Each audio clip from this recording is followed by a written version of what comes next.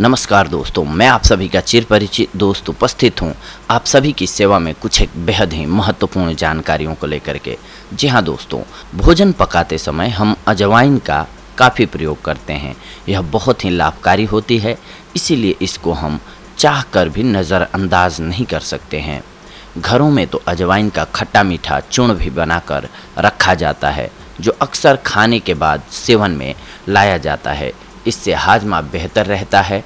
तो आइए, आज हम जानते हैं अजवाइन के बेनिफिट्स के बारे में, जो आपको बहुत सारे फ़ायदे देंगे। आयुर्वेद के अनुसार अजवाइन पाचक, तीखी, गर्म, कड़वी, शुक्राणुओं के दोषों को दूर करने वाली, वीर्यजनक, हार्ट के लिए हितकारी, कफ को हराने वाली, गर्भाशय को उत्तेजना देने वाली, बुखार को दूर करने वाली, उल्टी, पेट के रोग, जोड़ों में दर्द इन सब समस्याओं को दूर करने वाली एक बहुत ही अच्छी औषधि है अगर आप मोटापे से परेशान हो चुके हैं तो ऐसे में अजवाइन का उपयोग करें, इससे मोटापा भी कम होता है। अजवाइन का शहद के साथ नियमित रूप से सेवन करने से पथरी की समस्या भी दूर होती है। हल्दी की ही तरह अजवाइन भी मधुमेह रोगियों के लिए बहुत फ़ायदेमंद है क्योंकि यह फंगल संक्रमण से बचाती है। इसके अलावा हम आप सभी को इसके और फायदों के बारे में बताते हैं। सबसे पहले तो इसका फ़ायदा जानते हैं हम कि ये पाचन शक्ति को मज़बूत बनाती है। जी हाँ बरसात के मौसम में पाचन क्रिया कमज़ोर पड़ने पर अजवाइन का सेवन काफ़ी लाभदायक होता है। इससे अपच को दूर किया जा सकता है। अजवाइन का उपयोग गैस की समस्या दूर करने के लिए भी आप कर सकते हैं। अजवाइन, काला नमक और सूखे अदरक को पीसकर चूर्ण बना लीजिए। भोजन के बाद इस चूर्ण का सेवन करने से खट्टी डकार, गैस की समस्या दूर हो जाती है। इसके बाद हम अजवाइन का लाभ जानते हैं। अगर आपको उल्टी हो रही है तो अधिक शराब पी लेने से अगर व्यक्ति को उल्टियाँ आ रही हैं तो उसे अजवाइन खिलाना बेहतर होता है। इससे उसको आराम मिलेगा और भूख भी अच्छी तरह से लगेगी। अजवाइन के गुण हैं। गर्भावस्था में लाभदायक। गर्भावस्था के दौरान महिलाओं को अजवाइन ज़रूर खानी चाहिए, क्योंकि इससे न सिर्फ़ खून साफ़ रहता है, बल्कि यह पूरे शरीर में रक्त के प्रवाह को संचालित भी करता है। अजवाइन बेनिफिट्स की बात करें तो ये सबसे ज़्यादा फ़ायदेमंद कान के लिए है। कान में दर्द होने पर अजवाइन के तेल की कुछ एक बूंदे कान में डालने से बहुत आराम मिलता है। अजवाइन बेनिफिट्स दाद में। जी हाँ दांत खाज में लाभदायक। अगर आपके शरीर पर दाने या फिर दाद हो जाए तो अजवाइन को पानी में गाढ़ा पीसकर दिन में दो बार लेप करने से फ़ायदा होता है। घाव और जली हुई जगह पर इस लेप को लगाने से आराम मिलता है और कोई निशान भी नहीं रहता है।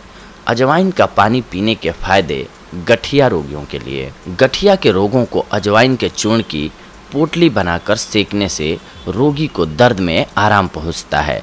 आधा कप अजवाइन के रस में आधी चम्मच पीसी हुई सूखी अदरक और पानी मिलाकर पीजिए। इससे गठिया का रोग ठीक हो जाता है। अजवाइन वाटर बेनिफिट्स खांसी के लिए। जी हाँ अजवाइन के रस में एक चुटकी काला नमक मिलाकर सेवन करने से और ऊपर से गर्म पानी पी लेने से खांसी बंद हो जाती है। इसके अलावा ये किल मुहासों को भी दूर भगाने में बेहद ही लाभकारी साबित होती है। दो चम्मच अजवाइन को चार चम्मच दही में पीसकर रात में सोते समय पूरे चेहरे पर मल कर लगाएँ और सुबह गर्म पानी से साफ़ कर लें। ऐसा करेंगे, आप तो आप देखेंगे कि आपके मुहासे गायब हो जाएँगे। इसके अलावा अगर आपके मसूड़ों में दर्द है तो अजवाइन को भूनकर और पीसकर मंजन बना लें। इस पाउडर से ब्रश करने से मसूड़ों के सारे रोग मिट जाते हैं और दर्द भी गायब हो जाता है। इसके अलावा अगर आपको खट्टी डकारें आ रही हैं तो अजवाइन, सेंधा नमक, हींग और सूखे आंवले को बराबर मात्रा में लेकर अच्छी तरह से पीसकर चूर्ण बना लें। इस चूर्ण को एक ग्राम की मात्रा में सुबह और शाम शहद के साथ चाटने से खट्टी डकार आना बंद हो जाता है। इसके अलावा गुर्दे के लिए भी ये बेहद ही लाभकारी होती है। अजवाइन बेनिफिट्स की बात करें तो इसका सबसे अच्छा फ़ायदा किडनी रोगियों के लिए है। इसमें गुड़ और पीसी हुई कच्ची अजवाइन बराबर मात्रा में मिलाकर एक एक चम्मच रोज़ाना चार बार खाएँ। इससे गुर्दे का दर्द भी ठीक हो जाता है। इसके बाद अजवाइन का पानी पीने के फ़ायदे बहुत सारे हैं। ये सर्दी से सबसे पहले तो आपको बचाता है। देशी अजवाइन पाँच ग्राम, एक ग्राम गिलोय को रात में 150 ml पानी में भिंगोकर सुबह छान लें। फिर इसमें नमक मिलाकर दिन में तीन बार पिलाने से लाभ मिलता है। इसके अलावा ये अस्थमा रोग में भी बेहद लाभकारी साबित होता है। आधा कप अजवाइन के रस में इतना ही पानी मिलाकर सुबह और शाम भोजन के बाद लेने से दमा का रोग नष्ट हो जाता है। अजवाइन का उपयोग करके आप मासिक धर्म के दर्द से भी राहत पा सकते हैं। मासिक धर्म के समय पीड़ा होती है तो गुनगुने पानी के साथ अजवाइन लेने से दर्द मिट जाता है। मासिक अधिक आते हों, गर्मी अधिक हो तो यह प्रयोग ना करें। क्योंकि अजवाइन की तासीर गर्म होती है। अजवाइन वाटर एसिडिटी से राहत दिलाता है। यदि आपको एसिडिटी की समस्या है तो थोड़ा अजवाइन और जीरे को एक साथ भून लें। फिर इसे पानी में उबाल कर छान लें। इस छने हुए पानी में चीनी मिलाकर पिएँ। इससे आपको एसिडिटी से राहत मिलेगी। अजवाइन का पानी आपका वज़न कम कर सकता है। अजवाइन का पानी पीने से शरीर का मेटाबॉलिज्म बढ़ता है, जिसकी वजह से कार्ब तथा फैट बर्न होने की प्रक्रिया शुरू हो जाती है, जिससे शरीर के वज़न में कमी आती है। 25 ग्राम अजवाइन लें। अजवाइन को एक गिलास पानी में रात भर के लिए भिंगो कर रख दें और सुबह पानी को छान लें। उसके बाद पानी में एक चम्मच शहद मिक्स करें और सुबह के समय खाली पेट इसको पी लें। आपको लाभ होगा। इसका सेवन 45 दिन के लिए लगातार करें। इससे आपको ज़रूर फ़ायदा मिलेगा। इसके बाद हम बताते हैं दोस्तों कि कोई भी औषधि हो, अगर आप अत्यधिक मात्रा में उसका सेवन करते हैं तो वो आपको फ़ायदे की जगह लॉस भी दे सकता है। तो आइए, अब हम जानते हैं अजवाइन के अत्यधिक यूज़ से क्या क्या लॉस हो सकते हैं, या फिर किन बीमारियों में नहीं करना चाहिए अजवाइन का प्रयोग।